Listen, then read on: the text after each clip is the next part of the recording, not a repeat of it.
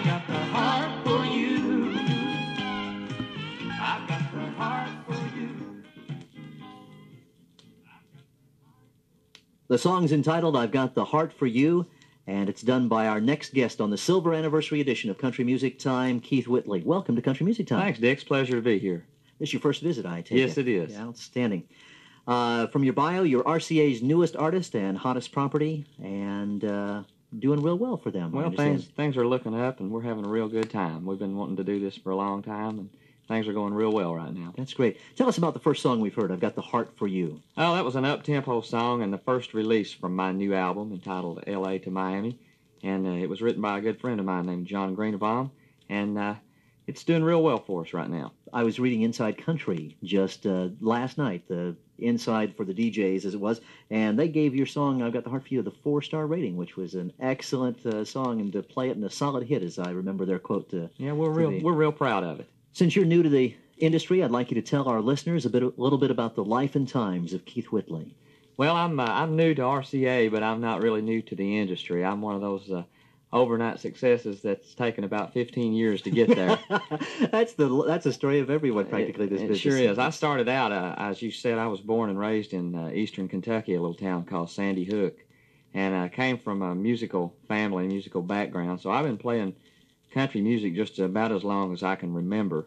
Uh, you know, started out with the local talent shows, and first one thing, and then another one. I was just a kid, and my dream was uh, always to come to Nashville. So about uh, two and a half years ago, my wife and I moved down, and we've been uh, been real fortunate. We uh, we signed with RCA in September of 1984, and uh, also signed as a writer with Tree International in September of '84. And so the songwriting uh, end of my career, as well as the recording end, has just been going real well, and we're real happy. Since you've been in the business a while or been paying your dues for a while, let's put it that way, who's been the most, uh, who's had the most influence on your style of singing and your songwriting? Who's been some of the artists? Uh, Lefty Frizzell uh, was uh, my biggest influence uh, as a singer. Uh, I studied studied Lefty singing from the time I was a kid, and also I'm a big fan of George Jones. And as far as writing, I have have a lot of writers. A lot of the people that I'm getting the chance to write with now have been influences of mine when I was a kid. People like Harlan Howard and uh, Curly Putman. And since I've signed with Tree, I've gotten the opportunity to work with some of those guys and do some co-writing. So I'm real happy about that. The next song that we're going to hear from your album LA to Miami is called Miami. My Amy loves me after all. That's a mouthful, isn't it? It is. You did great, though, Dick.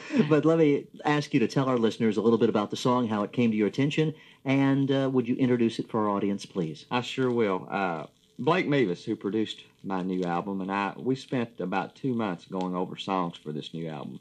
And uh, really, uh, we must have listened to hundreds of songs before we started choosing the material for, for the album. Blake called Dean Dillon one day and told him, he said, I need a hit for Keith Whitley.